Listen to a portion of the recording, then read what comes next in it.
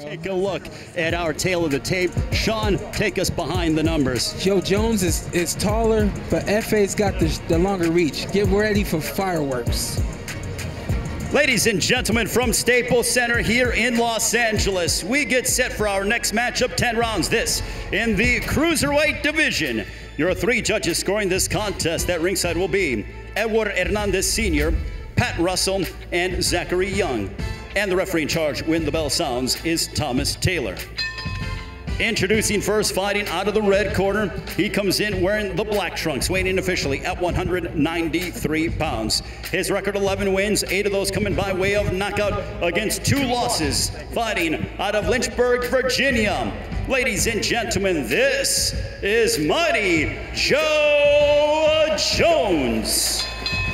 And across the ring, his opponent fighting out of the blue corner. He comes in wearing the black trunks, weighing officially at 199 pounds. As a professional, he's undefeated, nine wins, all of those coming by way of knockout. Fighting out of Ughelli in Nigeria. Ladies and gentlemen, presenting the unbeaten, the Nigerian Pitbull, Efetobor Apochi. Boxer Chief second.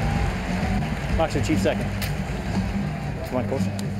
Okay, guys, belt lines are good on both sides. I gave your instructions in the back. Protect yourselves at all times. Listen to my commands. Touch them up. Back to your corner, gentlemen. Good. Efetobor Apochi, we will call him FA for short.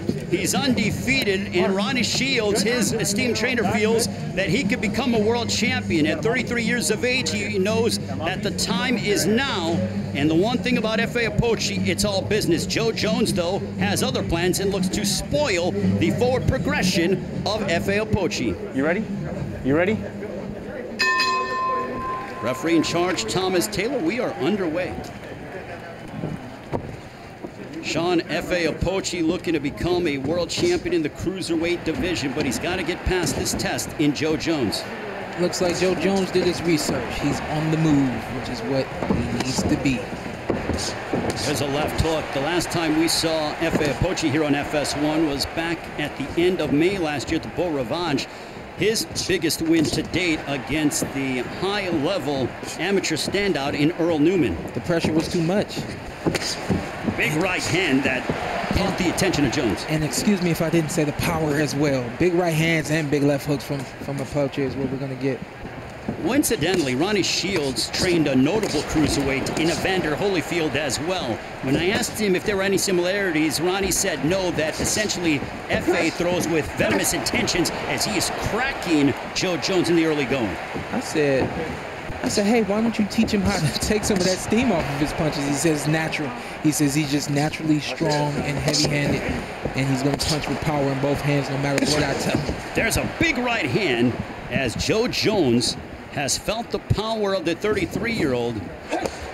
The one thing, though, that Ronnie Shields did tell us in fighter meetings about Apochi is that they are working on defense. He said emphatically that defense is what gets you to becoming a world champion. It's true, and you know, obviously, or not obviously, but Apochi's going to get to a point where he's not going to be able to just walk up on, on any of on all of his opponents. And when that time comes, then he'll need some head movement. He'll need to be able to do a little bit more than just stand there and, and, and wear the shots on his gloves like he's doing right there. Coming up on 70 seconds to go in the first round here in the cruiserweight division. F.A. Apochi looking to keep his perfect record intact. Joe Jones, whose middle name is Lewis, named after the great world champion in Joe Louis has other plans. But there's a nice right hand that caught the attention of Apochi. That was the one thing I saw about Joe Jones is he's got a big right hand. It's just about landing it against Apochi, but if Joe's able to get some space and start popping that jab, he may be able to set up the right hand. Well, Joe Jones coming off of his second career loss, an eight-round unanimous decision defeat at the hands of Richard Rivera, but there's a left hook, and Apochi has Over there. him hurt. Down he goes. Three, four, five, six, seven, eight, nine. You okay? Yes, Walk to the left with me. No, walk to the left and come back. Yes, Continue. All right, let's go. FA Apochi looking to close the show against Joe Jones in our opening stanza. FA did not come here to dance. Big right hand Seconds, by Seconds to Yeah, he's going to try to finish it. A couple seconds here. Efe Apochi in the mindset to not let it go to the judges' scorecards with this big shot. Sean, what does Joe Jones have to do in order to gain the W? You know, I had keys. None of them matter. Use your jab, use your foot movement, and try to land a right hand. Simple as that. Meantime, for Efe Apochi, Efe, he's going to apply some pressure. He's going to land that power that he's been landing. And like my last key, just touch him. Eventually, he's going to touch him and land a big one and, and get Joe out of there if he's not able to move and implement his jab immediately. Well, Thomas Taylor, who is refereeing his 403rd professional fight, was busy in the first round counting the knockdown. We'll see if Apochi can finish off Joe Jones and crack the double-digit win mark. Two things you can do against a guy with a lot of power like Apochi. Move like Joe is doing, but along with the movement, you got to have some speed behind your punches or land something to hurt him yourself. There's a right to the body by Efe Apochi. Notable world champions from Nigeria. The legendary and Hall of Famer Dick Tiger. Also Sam Peter, who won the heavyweight championship of the world over Oleg Maskaev. Apochi's finding the body, too. He's finding the good left hook to the body. I think Joe's hurt right now.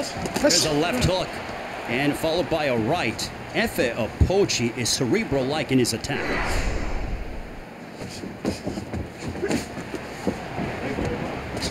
What does Joe Jones have to do to stay away from the power and the just the sheer aggression of Apochi? I tell you what, it's not going to happen very much. I, at least I don't expect it to. But right there, you saw him throw a jab, and then he pivoted out, and he was able to get around Apochi and, and find some space.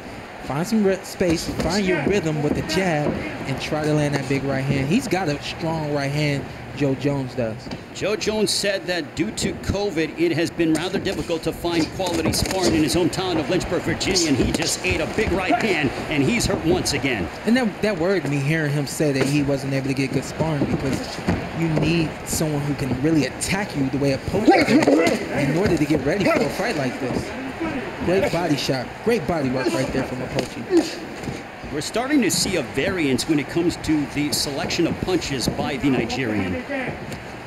I think he's using the overhand right to cut him off, and I think he's using the jab to cut him off, but he really wants to get to the body to hurt him. There's a right to the body on the left side of the ribcage of Joe Jones. Pochi's throwing the body shots the right way. He's going around the elbow. He's not hitting the elbow and he's not going to the inside where he can't find the body. He's going around the, the elbow, which is great. Well, you pointed out punch selection, Sean, and that's what I'm impressed by by Efe Apochi. He's not burning himself out here in the second round to try to take it out that overhand. Down goes Jones for the second time in the fight. Three, four, five, six, seven, eight, nine. You okay? Come here. Gotta protect yourself, man. Show me something, all right? Thomas Taylor, a quality official, the second time that Joe Jones has tasted the canvas. A third time could signal the end for the Virginia native as Apochi pouring it on. Right hand over the top, but now Apochi, he might have gotten hurt. He might have gotten lit up with the right hand. Gentlemen, stop at the bell, gentlemen. Apochi went in forward and he ate a right hand from Joe Jones, but two knockdowns thus far by Apochi. Yeah, I, have been talking about Joe Jones's right hand, and I wasn't just saying that to talk about him. He can land. Uh, well, first we got Apochi here. Big right hand, big one two, boom. And when I saw that punch land, I was like, "There's no way he's gonna stand up to that." And sure enough, eventually he did go down. And then here's a knockdown again. Better, he's throwing a chopping right hand. He's coming right down. A lot of power in a punch like that, in a right hand like that.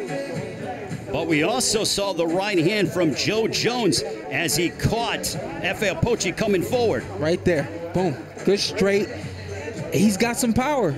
He does. I wasn't just saying that to say it.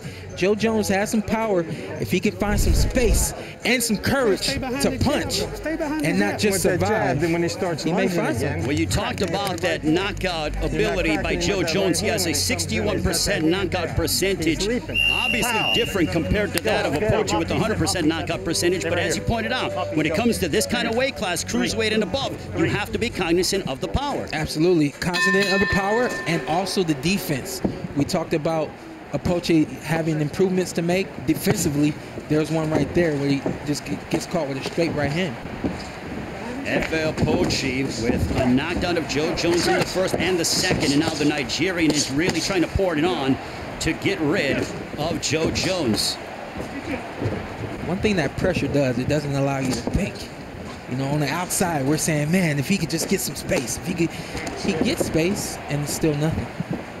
With more on Efe Apochi, down goes Joe Jones for the third time in the fight. Four, five, six, seven, eight, nine. You okay? You just made up. No, you did not. You all right? Can you continue? Fight's over. It's over. And Sit. this one is over. You didn't answer my question. As That's it. Efe 10 fights, 10 victories, 10 knockouts. The Nigerian is certainly problematic for a lot of cruiserweights as he demonstrated his power over Joe Jones.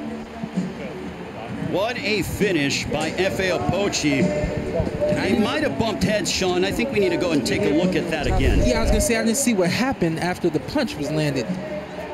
Very good body shot, and I, I think he's complaining. Yeah, he's complaining about the headbutt right there at the end of that. It's not really a headbutt; it's more of a clash, and it was extremely accidental. It wasn't on purpose. He's coming in. That that's what happens. You you go into the body, head still up a little high, and then the other guy leaning in to, to protect the body, and and you get a head clash there. But plain devil's advocate, Thomas Taylor did ask Joe Jones, "Can you continue?"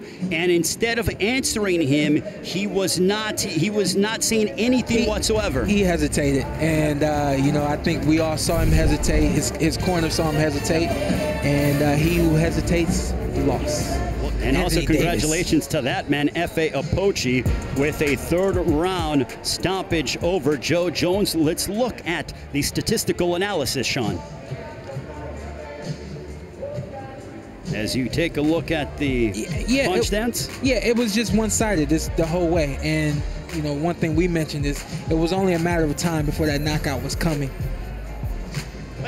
Ladies and gentlemen, the end comes at 51 seconds of round three for your winner by technical knockout and still undefeated, the Nigerian Pitbull, Efetobor Apochi. And just to clarify, Sean, when it comes to the end of the fight, it was a clash of heads that brought down, that put Joe Jones down. However, Thomas Taylor did ask him, Can you continue? Joe Jones did not respond. I think Thomas Taylor made the right and appropriate call. Absolutely, he did. And I just want to bring back the fact that pressure will, won't allow you to think. And and so Joe Jones never had a moment to really think and and understand what was going on. And when he went down that last time, he, am I hurt to the body or was it a head clash? You know, and, and he just he couldn't figure it out. In the meantime, referee said, "Hey, do you want to continue or what?"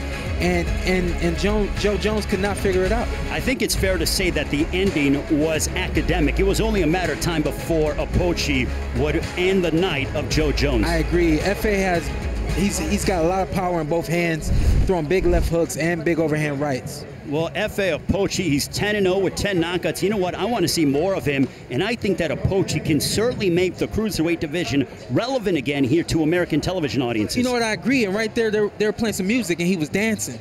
That means he's light on his feet. That means he's got some movement, more things he can add to his arsenal before he gets up there with the big, big, big boys. And the one thing about F.A. Apochi, he's all business. He doesn't eat meat. He's a pescatarian. He's all about testing himself, and he is now standing by with our very own Jordan Plant. Thank you, Ray. Congratulations. It's your birthday month, and what way to celebrate it rather than a stoppage. Great performance. You know, you were dominating him. How do you feel about what you were able to do? Because I know you probably came in with a game plan, but did you do everything that you and Ronnie came up with? Uh, yes, pretty much because I already know like when I, when I want to face guys in the cruiserweight division, they want to run away from me because when they see that that record, 9 and 0, 9 KO, they know I'm a big puncher, so they want to run around. I was going to take my time, you know, but I heard him say he's going to mess my record up. I was like, wow, are you serious? So okay, let's And- do it. And when you, when you hit him, that first time that you got that knockdown, what was going through your head? What, what did you think? No, nothing. I, I just, when I got the knockdown, I said 10 8. That was it. I was like 10 8. Okay, round one, 10 8. I went back to my corner. That, that made me relax. Like, okay, it's not a problem. Yep. I got one round. Like, I'm two, I'm two round ahead. So when I got the second round, 10-8, I was like, okay, the fight is done. You knew you had it in the bag, and that's what you did. Congratulations Thank to you. you. We're looking forward to seeing you in the ring again soon.